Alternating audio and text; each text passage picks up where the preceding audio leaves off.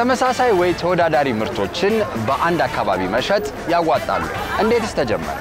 ደንበኞችን መሻማት አይሆንም ወይ? እንግዲህ መርካቶ ውስጥ እንደምታዩት እንዲህ በርካታ አይነት አንድ አይነት ምርቶችን በተለያዩ ሱቆች መሸጥ የተለመደ አሰራር ነው። ይህ ምን ያህል ያዋጣል? ትርፋማስ ያደርጋል?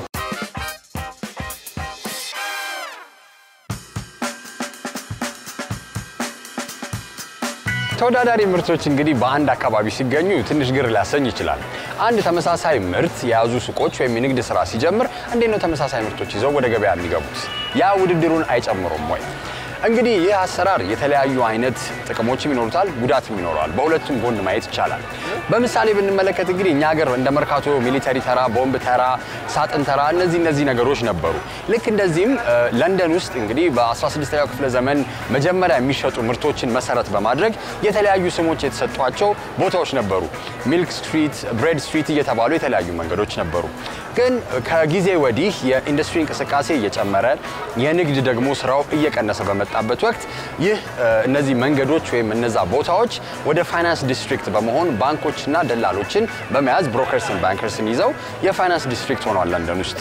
በ cluster መስራት ወይም ተሰብስቦ ተመሳሳይ ምርቶችን በአንድ ቦታ መሸጥ ጥቅሞች አላቸው። ለነጋዴው የሚያመጣውን ጥቅም ብንመለከት ዋጋ፣ የተለያዩ አይነት መሰረተ ልማቶችን በጋራ እንዲጠቀሙ ፍቃድ ወይም እድል ይሰጣቸዋል።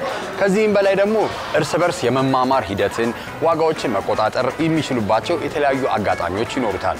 በዚህ አሰራር ላይ አንድ እንደ ክፍተት የሚነሳው ነገር ግን ምንድን ነው? አንዳንድ ሰዎችን ለይቶ በማስጠቀም ሌሎችን አያካትትም ወይም ብዙ ጊዜ ችግሮችን ሊፈጥርባቸው ይችላል ይባላል። ለምሳሌ ብንወስድ አንድ ከፍ ያለ የኪራይ መጠን ቢደረግ አንድ ፎቅ ላይ የኪራይ መጠኑ ከፍ እያለ ሲመጣ ትንንሽ ሱቆችን ወይንም ገቢያቸው ወይም እንቅስቃሴያቸው አነስተኛ የሆኑ ሱቆችን ወይም የንግድ ሰዎችን ይጎዳል የሚል አስተሳሰብ አለ። ስለዚህ በአጠቃላይ እንዲህ ተሰብስቦ በተራ ወይም በክለስተር ወይም በመደራጀት መስራት ጥቅም የሚኖረው ሁሉን ያማከለ የሁሉንም ሀሳብ ጥቅምን፣ መብትን የሚያስከብር ሲሆን ብቻ ነው። መርካቶ ውስጥ እንግዲህ በተለምዶ የተለያዩ አይነት ቦታዎች ላይ ተራዎች ወይም በረንዳዎች በመባል የሚጠሩ ተመሳሳይ ምርቶችን የምንሸጥባቸው መንገዶች አሉ። ይህ እንግዲህ ኢመደባዊ ክለስተር ወይም ስብስብ ልንለው እንችላለን። ይህ ደግሞ የንግድ ሁኔታው እንዲቀላጠፍም የሚያደርግበት ሁኔታ አለ። እነዚህ አይነት ተመሳሳይ ምርቶችን በአንድ አካባቢ መስራት እንዴት ተጀመረ? ስሜ ኤርሚያስ ገዳሙ እባላለሁ። ስራዬ ንግድ ነው።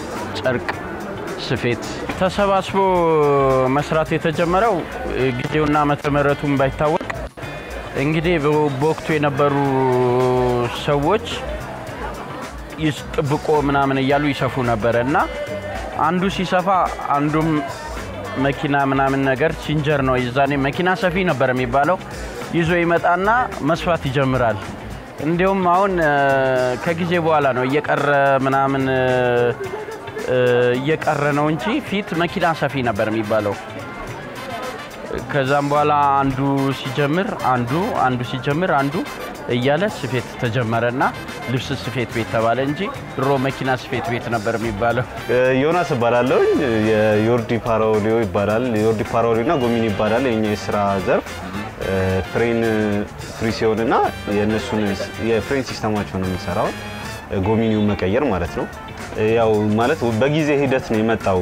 በፊት የነበረው ከሰዎች የምንሰማው የነበረው ነገር እዚህ አካባቢ ጋር የነበረው ቡና ቤቶች ምናምን ይበዙ ነበረ።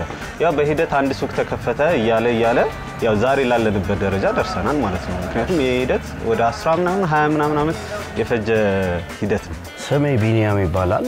የምሰራቸው ስራዎች አይነቱ ያው የሻንጣ ንግድ ነው። አንድ አይነት ሻንጣ ስራ እንግዲህ ይመስለኛል እኔ በማስበው አንዱ ከፍቶ ጥሩ ሲሰራ ሌላውም እያየ እያየ እንደዛ እያለ የሰፋ ይመስለኛል። ስሜ ዘካሪያስ ከበደ ይባላል። የሚሸጠው ጃኬት፣ ሸሚዝ ምናምን ድሮ ሳጥን ተራ ነበር የሚባለው አካባቢ። አሁን ላይ ግን ያው ልብስ መሸጫ ሆኗል። እንደምታዩት ይህ ነገር የተጀመረው ያው አዋጅ ስለሆነ በአንድ አካባቢ ነው። ሁሉም customer ኡ ተመሳሳይ ምርትን ለማግኘት አንድ አካባቢ ነው የሚመጣው። ያ ደግሞ ጥሩ ነገር ነው። ብሪቴን የአውሮፓ ህብረትን ከለቀቀች በኋላ ከአፍሪካ ጋር ያላትን የ economic ትስስር ለማጠናከር እንደምትሰራ አስታወቀች። ሀገሪቷ ለመጀመሪያ ጊዜ የብሪቴን አፍሪካ ኢንቨስትመንት ፎረምን ባሳለፍነው ሳምንት ያካሄደች ሲሆን የኢትዮጵያ ምክትል ጠቅላይ ሚኒስትር ደመቀ መኮንን ጨምሮ ወደ 22 የሚጠጉ የአፍሪካ መንግስት መሪዎችና ተወካዮችም ተገኝተዋል።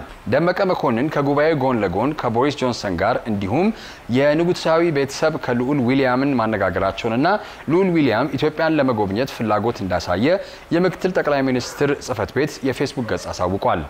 የአውሮፓ ህብረትን ለቃ ለመውጣት 11 ቀናት ብቻ የቀራት ብሪተን ህብረቱን ለቃ ከወጣች በኋላ ከአፍሪካ ጋር የንግድ ልውውጥ ለማካሄድ ሀሳብና እቅድ በግልጽ አስቀምጣለች። ጉባኤውን የከፈቱት የብሪቴን ጠቅላይ ሚኒስትር ቦሪስ ጆንሰን ብሪቴንን ተመራጭ የአፍሪካ ሀገራት የኢንቨስትመንት አጋር ለማድረግ እንደሚሰሩም አስታውቀዋል።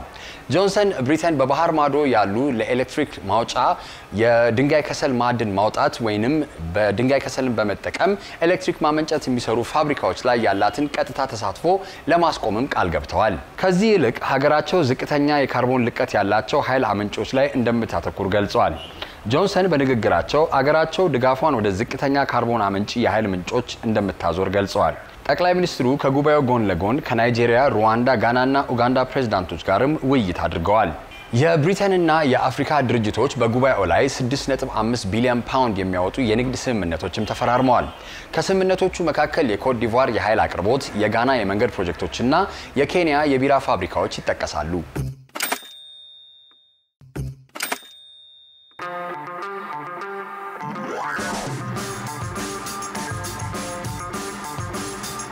እንግዲህ የተመሳሳይ ምርቶችን በአንድ አካባቢ መሸጥ የተለያዩ አይነት ጥቅሞች ሊኖሩት ይችላሉ። ግን ሁሌም የሚነሳው አንድ ቦታ ላይ ተመሳሳይ ምርቶችን ይዘው ውድድር ሲኖር ሸማቾቹን መጋራት ሊሆን ይችላል፣ ደንበኞቹን ማሸሽ ሊሆን ይችላል እና ውድድሩን በጣም አያከብደውም ወይ? እሱ ችግር አይኖረውም። ምክንያቱም አንተ ስራህን ነው መስራት ያለብህ። ከእንደገና ዋጋ ነው ሰውን የሚጥለው። እኛም መሸጥ የምንችለው ተወዳድረን ያንተን ዋጋ አይቶ የሌላውን ዋጋ አወዳድሮ ነው ሰው ሲገዛ የሚገዛው። ስለዚህ ያው የሰው የሱቆቹ መብዛት እንደ advantage ነው እንጂ መያዝ ያለበት። ምክንያቱም አንድ ቦታ ሲሆን ሰው ከዛ ተነስቶ ያንን እቃ አጣለሁ ብሎ እዚህ ቦታ ላይ አይመጣም። ገባ እዚህ ሲደርስ በእርግጠኝነት እኛ ጋር ባያገኘው ከኛ አጠገብ ያለው ሱቅ የማግኘት እድሉ ሰፊ ነው። ጉዳቱ ደግሞ በእኛ በኩል እንደ ነጋዴ competition ይኖርብሃል። ፍክክር ስለሚኖር ዋጋ ዝቅ እያለ ያው profit ያንሳል፣ ጥቅምህ እየወረደ ይሄዳል ማለት ነው። አሪፍ ነው ተወዳድረህ መሸጥ። አቅርቦቱም ላይ አሪፍ አቅርቦት ታቀርባለህ። ያኔ customer ኡ አንድ አካባቢ ላይ ይመጣና ይገዛሃል ማለት ነው። ውድድርን አያበዛ፣ እንዲሁም ለሸማቹ አሪፍ ነው የሚሆነው። ለምን አንድ ላይ ተመሳሳይ የሆነ ስራ ላይ ነጋዴው ይመጣል፣ የሚፈልገውን መርጦ ገዝቶ ይሄዳል። ብቸኛ ስራ ከሆነ ግን ያ ነገር በቃ የሚፈልገውን ነገር ሲያጣ ሌላ ቦታ ላይ ነው የሚሄደው። ስለዚህ ግን አንድ ላይ ሲሆን የፈለገውን መጥቶ ገዝቶ ሸምቶ ይሄዳል። እንግዲህ ይህ ክልስተር ወይም የስብስብ አሰራር ለረጅም ጊዜ የቆየ ነው። በርካታ ዓመታትም ላይ እንግዲህ መርካቶም ይሆናል የተለያዩ አይነት የንግድ ማዕከላቶች ውስጥ ተመሳሳይ ምርቶችን በአንድ አካባቢ የተለመደ አሰራር ነው። ችግሮቹን ቅድም አይተናል። ቢኖሩም እንደዚህ ያህል ረጅም ዓመት ሊያቆዩ የሚችለው ትርፋማ ካልሆኑ እንደዚህ አይነት ስራ ሊሰራ አይችልም። ታዲያ አንድ ቦታ ላይ ተሰብስቦ አንድ አይነት ተመሳሳይ ምርት መሸጥ ምን አይነት ጥቅሞች ይኖረዋል? ምንድነው መሰለህ አንድ ላይ መሰባሰባችን ለእኛ ትልቅ advantage ነው። ለእኛም ብቻ አይደለም ለመንግስትም ትልቅ advantage ነው።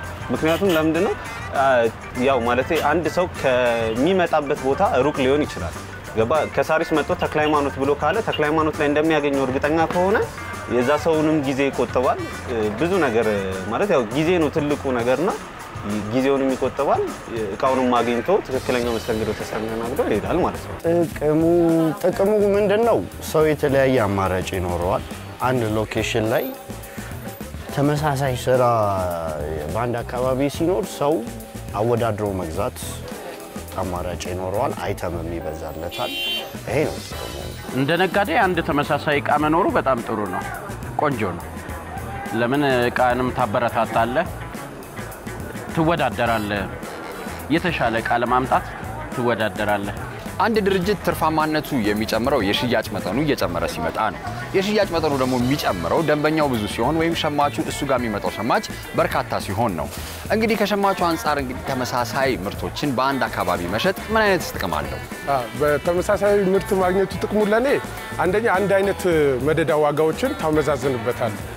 ሁለተኛ ነገር ደግሞ ለምሳሌ እኔ እዚህ ጋር የምገዛው ጨርቅ ከሆነ ጨርቅ ተራ ብቻ ነው የምመጣው? ሌላ ተራ አልሄድም ማለት ነው። ወደ ሌላ እንትን ውስጥ አልሄድም። ዋጋ ለማመዛዘን ይመቸኛል። ያ ነው ትልቁ ጥቅሙ። በአንድ ቦታ ላይ እቃ መግዛቴ ሰዓትን ጊዜን ይቆጥብልኛል እና ያው ተቀራራቢ ቦታ መሆኑን ሻንጣው ዋጋ አወዳድሬ እገዛለሁ። ኢትዮጵያ ከሱዳን ፔትሮሊየም ኮርፖሬሽን ጋር ለፈረንጆች ዓመት 2020 የሚቀርብ የቤንዚን ውል ተፈራረመች። ኮርፖሬሽኑ በ2019 እንደ አውሮፓውያን አቆጣጠር ለኢትዮጵያ ነዳጅ ያቀረበ ሲሆን በአሁኑ ጊዜ የተፈረመው የውል እድሳት መሆኑ ተገልጿል። የኢትዮጵያ ነዳጅ አቅራቢ ድርጅት ዋና ስራ አስፈጻሚ ታደሰ ኃይለማርያምና የሱዳን ፔትሮሊየም ኮርፖሬሽን ዋና ዳይሬክተር ገማል ሐሰን የውል እድሳቱን ጥር አንድ ቀን እንደተፈራረሙ ድርጅቱ በፌስቡክ ገጹ አስታውቋል። ኢትዮጵያ በዚህ ዓመት መንግስት ለመንግስት የሚደረጉ ስምምነቶችን መሰረት ያደረገ የነዳጅ አቅርቦት ግዢ እንደምትፈጽም ዋና ስራ አስፈጻሚው ታደሰ ኃይለማርያም ለቃና መናገራቸው ይታወሳል። እንግዲህ ከቅርብ ጊዜ ወዲህ በተራ የሚሰራው እንዲህ በበረንዳ እንደዚህ የሚሰሩት ስራዎች እየቀሩ መጥተዋል። አሁን በዘመናዊ መልኩ እንደምታዩቸው እንደዚህ አይነት ፎቆች፣ የገበያ ማዕከሎች በማስተናገድ የተለያዩ ማህበራት በማደራጀት ስራዎች እየተሰሩ ነው። ታዲያ መርካቶ ውስጥ እንደዚህ አይነት ፎቆች ሲሰሩ እና እንደዚህ በገበያ ማዕከል ሲቋቋም የግብይት ስርዓቱን በምን አይነት መልኩ አስተዋጽኦ ያደርግለታል ወይስ ተጽዕኖ ያሳድርበታል? ፎቅ ላይ መሰራቱ ጥቅሙ ምንድን ነው? አሁን ለምሳሌ በህንፃው ስም ነው አንድ አካባቢ የሚታወቀው። በፊት ግን በተራ ነበር የሚታወቀው። አሁንም ቢሆን ያው አንድ ህንፃ አንድ ተራ ነው ስሙ ያለው። ለምሳሌ እድገት በአንድነት ነው የሚባለው። ያኛው እድገት ምስል አለ። እንደዛ አይነት ነገሮች ጥቅም አለው ማለት የፎቁን ነገር አዎ፣ እሱ ምንድን ነው? አንደኛ ፎቁ build እስኪደረግ ድረስ እኛ እንበተናለን። ሁለተኛ እንደ መርካቶ ውበቷ ይሄ ሹልክልኩ part ነው የመርካቶ ውበቷ። ፎቅ ላይ የእኛ ሰው ወጥቶ መግዛት አልለመደም። ሁለተኛ ሶስተኛ floor ላይ ወጥቶ የመጠየቅ check የማድረግ እንትን የለም። እሱ ነገር ለመርካቶ ለመርካቶ ትንሽ መልካም ነው፣ ትንሽ ግን ይከብዳል። ፎቅ መሆኑ እድሉ ከተሰጠን ለራሳችን እንደ advantage ማለት ለምሳሌ አካባቢው ላይ ላለው ሰው ራሱ ማልማት የሚችል ከሆነና እድሉ ማግኘት ከቻለ ላለው ላለው ባለ ሱቅ ትልቅ advantage ነው። ምክንያቱም store ሌላ ቦታ የምትከራየው ይኖራል፣ ሱቅህ እዚህ ይሆናል። ሄደ ከ store ላምጣ ምናምን የሚለው ነገር አይኖርም። ምክንያቱም አንተ እዚህ ህንፃው የራስህ ከሆነ እዚሁ ራስህ ከ store እንኳን ሌላ ቦታ ቢሆን እዚህ display ቢሆን ሄደ ከዛ አምጥታ የመሸጥ እድል ሰፊ ይሆናል። ጊዜንም ትቆጥባለህ ማለት ነው። ይሄ ደግሞ ለሀገር እድገትም አሪፍ ይመስለኛል። በፎቅ ላይ መሰራቱ አሁን ከጊዜ ወደ ጊዜ ነው እንጂ አልተለመደም። ግን አሁን የግዴታ መርካቶ ውስጥ በፎቅ ላይ ስራ ምናምን ገና ትንሽ ይቀራል። እንደ መርካቶ ማለት ነው። መርካቶ ፊት በቆርቆሮ ምናምን ነበረ የሚሰራው የነበረው። አሁን ግን ሰው ሲመጣ ፎቅ ነው እንዳለ ሞል እየሆነ ነው፣ እየቀረ ነው። ስለዛ አሁን ሸማቹ ፎቅ ላይ የመውጣት እንትን የለውም። የግዴታ በቃ የለመደው መሬት ላይ ነው። ground ላይ ስለለመደ ground ላይ ነው እየሄደ ሸምቶ የሚሄደው እና ከጊዜ በኋላ ግን ይሻሻላል የሚል እንትን ይኖረናል። አሁን ብታየው በዚህ ፎቅ ላይ ብዙውን ባዶ ነው። ለምንድን ነው ህብረተሰቡ ፎቅ ላይ ገና አልለመደም። ለነጋዴው ጥቅሙ ምንድን ነው? ያው አንድ ህንፃ ላይ መስራት ተመሳሳይ ምርትን ለማግኘት ለከስተመሩ ተጠቃሚ ነው ማለት ነው። የግል ድርጅቶች ገቢ ባልተደረገ የጡረታ መዋጮ ላይ የሚጣለው ከፍተኛ ቅጣት ጫና እያሳደረባቸው መሆኑን ገለጹ። የአዲስ አበባ ንግድና ዘርፍ ማህበራት ምክር ቤት ባሳለፍነው ሳምንት ከተለያዩ የግል ዘርፉ ባለድርሻ አካላት ጋር በኢንተርኮንቲኔንታል ውይይት አድርጓል። በ2007 ዓ.ም ተሻሽሎ የወጣው የግል ሰራተኞች ጡረታ አዋጅ የጡረታ መዋጮ መክፈያ ቀነ ገደብን በፊት ከነበረው 60 ቀን ወደ 30 ቀን ያሳጥራል። በቀነ ገደቡ የግል ድርጅቶች ካልከፈሉ ግን በመዋጮ ላይ በባንክ ተቀማጭ ላይ ከሚታሰበው ተመን የተስተካከለ ወለድ እንዲሁም አምስት በመቶ ቅጣትን ጨምሮ ክፍያ መፈጸም እንዳለባቸው ይደነግጋል። ቅጣቱ ተገቢ አይደለም የሚሉት የግሉ ዘርፍ ተሳታፊዎችና የአዲስ አበባ ንግድና ዘርፍ ማህበራት ምክር ቤት ተወካዮች በተደረገው ውይይት ላይ ቅጣቱ በጣም ከፍተኛ በመሆኑ አንዳንድ የንግድ ድርጅቶች ሸጦ ዕዳ እስከ መክፈል ድረስ ደርሰዋል ብለዋል። ከዚህም በላይ በተጨማሪ አብሶ ደግሞ ቀጥተኛ ምክንያት ወይም ተገቢ ምክንያት ያላቸው ክፍያውን ላለመፈጸም ቅሬታ ወይም አቤቱታ የሚያቀርቡበት ስርዓት ባለመዘርጋቱ ሰሚም አጥተዋል ብለዋል። በውይይቱ የተሳተፉት የማህበራዊ ዋስትና ኤጀንሲ ተወካዮች በበኩላቸው ሕጉ የወጣው ያለመክፈል ችግር እየከፋ በመምጣቱና ክፍያ የማይፈጽሙትን ለማስገደድ በማስፈለጉ መሆኑን ጠቅሰዋል። አዋጁ ከተሻሻለ ወዲህም የተሻለ ገንዘብ መሰብሰቡን ተናግረዋል። ተወካዮቹ የግሉ ዘርፍ ግዴታውን ቢወጣና በአግባቡ ቢሄድ ችግር እንደማይኖር አስታውቀዋል። ይሁን እንጂ በዕዳ ቅሬታ ስርዓት ላይ የሚታዩ ችግሮች መስተዋሉንና ይህንንም ችግር ለመፍታት ኮሚቴ አቋቁመው እየሰሩ መሆኑን ጠቅሰው ችግሩን ለመፍታት ጥናት እየተጠና መሆኑን አስታውቀዋል።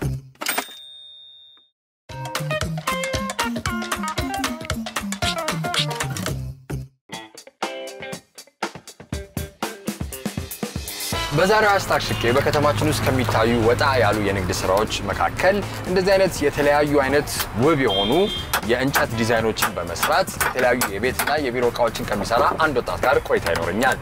ሰላም ዘላለም፣ ሰላም እንዴት ነህ? ደህና ነህ? እስቲ ዘላለም አንተ የምትሰራቸው እንደዚህ ንጹህ የሆኑ የእንጨት የተለያዩ ዲዛይኖች እየተሰሩ ለቤትም ለቢሮ ማስዋቢያ የሚሆኑ መጠቀሚያ እቃዎችን ነው አይደለ? እስቲ ይህንን ስራ እንዴት ጀመርከው? ያው traditional ስራ ደስ ይለኛል። ባህላዊ ስራ ያው ባህላችንን ማስተዋወቅ ስለሆነ እሺ በዛ ነው ስራውን የጀመርኩት። እሺ፣ አንተ የምትሰራቸው እስቲ እቃዎች ምን አይነት ናቸው? ያው ነው የምሰራቸው? የ more ባህላዊ ስራዎች ናቸው። ባህላዊ ስራ ሲባል ይሄ traditional ነገር ስትፈጭ፣ ስትወቅጥ የተለያየ ነገር የኢትዮጵያን culture የሚያደርግ ነገር ነው። ዲዛይኖቹ ናቸው። ዲዛይኖች አሉ። ዲዛይኖች ናቸው። ቁሳቁሶቹስ ወንበር፣ ጠረጴዛ፣? ወንበር፣ ጠረጴዛ፣ ሶፋ ሶፋ ትሰራለህ? ሶፋ እሰራለሁ። ባህላዊ ሶፋ ባህላዊ ሶፋ በእንጨት በእንጨት በንጹህ እንጨት። ንጹህ ዋንዛ እሺ፣ ከየት ነው የምታገኛቸው እነዚህ ነገሮች? እስቲ እቃዎችን የሚመጡት ከክፍለ ሀገር ነው፣ ግን እኛ የምንገዛው ከመርካቶ ነው። ከመርካቶ ነው። እስቲ በምሳሌ አንድ ወንበር ለመስራት ምን ያህል ወጪ ታወጣለህ? ምን ያህልስ ትሸጠዋለህ? ወይም ያንተን ነገር ለማነጻጸር አንድ ወንበር የሚሸጠው በ normal እነዚህ ኩርሲ በሚባሉት ወይም በተለምዶ የክትፎ ቤት ወንበሮች ደብረ ዳሞ የሚባሉት እሺ እነዚ ከ1700 እስከ 1600 ብር ነው የሚሸጡት። አንተ እንጨቶቹንስ ስትገዛ ምናምን ምን ያህል ይሆናል? ውድ ነው? አዎ እንጨቱ ውድ ነው። እንጨቱ ዋንዛ- ውድ ነው። አዎ ዋንዛ ስለሆነ በጣም ውድ ነው። ያው ቆንጆ እንጨት ከኢትዮጵያ ያለ እንጨት እሱ ነው። ዋንዛ ነው። እንጨቱ ውድ ነው። ምን ያህል ጊዜ ሆነ ይህን ስራ ስትሰራ? ይህን ስራ በራሴ ከጀመርኩኝ ሰባት ዓመቴ ነው። ተቀጥሬ ስሰራ ግን ብዙ ጊዜ ነው። ከዛ በፊት የት ነበረ የምሰራው? በአናጺነት ነበረ በአናጺነት ነበር የምሰራው። የተለያዩ ቦታዎች ላይ የተለያዩ ቦታዎች ከጓደኞቼ ጋርም በማህበር እንሰራ ነበር። አ። ከዛ በኋላ ነው የራሴን የከፈትኩት። ይህንን መንገድ ለመረጥከው አሁን እንግዲህ የምንገኘው የኡራኤል ነው አይደለ? ከኡራኤል ወደ አትላስ የሚያስኬደው መንገድ ላይ ነው። ይህንን ቦታ የመረጥከው ልዩ የሆነ ምክንያት አለ ወይስ አቅራቢያ ላይ ስለሆንክ? ልዩ ምክንያት የለኝም። ሰፈሬ ነው። ኡራኤል ሰፈር ነኝ። ያው ሰፈሬ ስለሆነ እና ደግሞ ቦታዋም ደግሞ ለእይታ መዞሪያም ስለሆነች turn ማድረጊያ ስለሆነች እና ደግሞ display ም ስታስቀምጥ ምቹ ቦታ ስለሆነ ስራውም የተለመደው እዚህ ሰፈር ላይ ነው ስለሆነ ነው ሰፈሬ። ቀርከሃ በቀርከሃ ደግሞ በእንደዚህ basket ኦች ነው የሚባሉት። በቀርከሃ የምታያቸው አሁን የአበባ መበተኛ fruit መያዣ እና የአምፖል ጌጦች አሉ። እሺ። እነሱም ይሰራሉ። እነሱም ይሰራሉ። በአማካይ ትልቅ ጊዜ ሊፈጅብኝ የሚችለው ስራ እና ትንሽ ጊዜ ሊፈጅብኝ የሚችለው ስራ እስኪ የትኛው? ጊዜ የሚፈጀው እንጨት ስራ ነው። እሺ ምንድን ትልቅ ስራ የምትለው? ትልቅ ስራ ሶፋ ስራ ነው። እሺ ምን ያህል ጊዜ ይፈጅብሃል እሱ? እሱ ከ15 ቀን በላይ ከሳምንት በላይ እንደዚህ 10 ቀንም 15 ቀንም የሚወስዳለ 20 ቀንም የሚወስዳለ እንደየዲዛይኑ ይለያያል። ይለያያል። እ፣ ዋጋስ እንዴት ነው? ተመጣጣኝ ነው? ዋጋ ሶፋው ወደድ ያለ ነው። እሺ ስንት ነው የሚሆነው? እንጨት ብቻ ስለሚሆን ነው ወይስ? እንጨትና ደግሞ ንጹህ traditional የበሬ ቆዳ አለ፣ ንጹህ ቆዳ አለ። እሺ እዚህ ውስጥ ነው ቆዳዎቹ። ለምሳሌ ይሄ ቆዳ ነው፣ አዎ ንጹህ የበሬ ቆዳ ነው። ይህንን በመጠቀም ነው የምትሰራው? ይሄን በመጠቀም ነው የምንሰራው። ይሄ fabricate ምናምን ነገር አይደለም፣ በ traditional ገጠር ላይ ነው እሺ በ culture አመራረት ነው የሚመረተው። በ traditional ስራ ነው የሚሰራው እና ንጹህ pure የበሬ ቆዳ ነው። ሶፋዎቹ እነዚህን በጣም ስለሚወስዱ cost ኣቸው ትንሽ ወደድ የሚለው ለዛ ነው። ሶፋው ሰማንያ ሺህ ብር አለ፣ ሰባ ሺህ ብር አለ። እንደዛ ነው ስንት set ማለት set ኡ ማለት አንድ ባለ ሶስት፣ አንድ ባለ ሁለት እና ሁለት single፣ አንድ ጠረጴዛ። ያለው እንደየሶፋው ዲዛይን ደግሞ ኩርሲም ሁለት ኩርሲ ይኖረዋል። side table ም ትናንሾች ይኖሩታል። አሪፍ ዲዛይን ይሆናል ማለት ነው። አሪፍ ዲዛይን ይሆናል። እነዚህንም እስቲ ስራ ስትጀምር ምን አይነት ችግሮች አጋጠሙ? መጀመሪያ ያው ሁሌ አዲስ ስራ ስትሰራ ትግል አለው? እስቲ እንዴት? ትግል አለው። ያው? ከዚህ በፊት ስራውን ከመስራቴ በፊት ዘመናዊ ስራ የሚሰራ ወንድም አለ። እሺ ብዙ አላስቸገረኝም። የፈርኒቸር ስራ የሚሰራ ስራ ወንድም ስለነበረኝ ቴክኒኩ ብዙ አላስቸገረኝም። እሱ ጋር ብዙ ጊዜ ስለሰራው ያው challenge ኦቹ ማሽን ምናምን ነገር የሉኝም ነበረ። መርካቶ ነው። አሁንም ትላልቅ ማሽኖች የሉኝም ቅርጽ ማውጫ ምናምን እንጂ ሌላ መሰንጠቂያና መላጊያዎች ምናምን መርካቶ ነው አሰርተን የምንመጣው። ግን እነዛም ትናንሽ ማሽኖቹ መጀመሪያ አልነበሩኝም እና ትንሽ challenge ያስከፈለኝ እሱ ነው። እሱ ነው። እን- እንዴት አለፍካቸው እስቲ ወይም እንዴት እያለፍካቸው ነው? መርካቶ ሄደህ ነው የምትሰራው? ሌሎች ሌሎች አሁን ትላልቆችን የእንጨቱ መሰንጠቅና የተለያየ ነገሮችን ትላልቅ እንጨቶችን መላጊያና እንጨት መሰንጠቅና ሌላ ነገሮችን መርካቶ ነው የምንሰራው። የወንበሮቹ የፊት እግር አንዳንድ ነገሮች አሉ መርካቶ ላይ የሚሰሩ እነዚህ ቅርጾች አሁን የምታያቸው እንደዚህ ሰዳን አስትሮ ይባላል። መርካቶ ማሽን አለ። ይሄ እዚህ ነው የሚወጣው። ይሄ እዚህ ነው የሚቀረጸው። ግን ይሄ እንጨቱን shape ማስያዣ ይሄኝ እንደዚህ አይነቶቹ ይሄኛውን ክርክር ለማስያዝ አዎ፣ እነሱን ማስያዣ መርካቶ ነው የምንሄደው። አሁን የምንገኘው አነስ ያለች ወርክሾፕ ልንለው የምንችለው ቦታ ላይ ነው። ወደፊት ዘላለም ምን ያስባል እስቲ? አዎ እቺ ዝም ብላ ለ display ነች። የእንጨት ቤት ስለሆነ አቅም ሲኖር በደንብ display ትሆናለች። አሁን ግን እንደ display ነው የምጠቀማት። ጓሮ ወርክሾፕ አለ እሺ ሰፋ ያለ ትንሽ ሰፋ ያለ ቀርከሃ የሚሰራበት እንጨትም በብዛት ተመርቶ የሚቀመጥበት ቦታ አለ። ወደፊት እስቲ አምስት ዓመት አስር ዓመት እቅድ አለ አይደለ? እስቲ ዘላለም ወደፊት ምንድን ነው የምታስበው? ያ ነገር ወደፊት? እቅዴ ምንድን ነው? አንድ ሱቋ እንደምታዩት አነስ ያለች ሱቅ ነች። ትላልቅ ሞክ ላይ ሞል ላይ showroom ማሳያ የተለያዩ ትላልቅ ትላልቅ ቦታዎች ላይ ለማሳየት ከእግዚአብሔር ጋር እቅዳለሁ። branch ኤንም ለማስፋት እቅዳለሁ። በጣም ደስ ይላል። ባህላችንን በመጠቀም እንደዚህ አይነት የእኛም ሀገር ከዚሁ ሀገር ውስጥ ያሉ ጥሬ እቃዎችንን በመጠቀም የምሰራው ስራ በጣም ደስ ይላል። መልካሙን ሁሉ እመኝልሃለሁ። እንግዲህ ትልቅ ወርክሾፕ እና ትልቅ ሱቅ ኖሮ ደግሞ መጥቼ እጠይቃለሁ። አሜን በጣም አመሰግናለሁ። መልካም የስራ ጊዜ። አሜን ለሁላችን።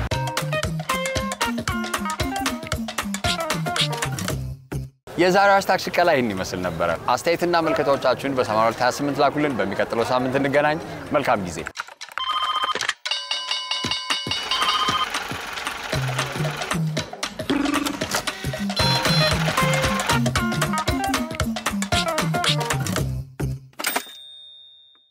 ይህ ቪዲዮ ተመቻችሁ? ከታች subscribe የሚለውን link በመጫን የቃና ቤተሰብ ይሁኑ። ከጎን ደግሞ ያለውን የደውል ምልክት በመጫን አዳዲስ የቃና ቪዲዮዎችን ያገኙ።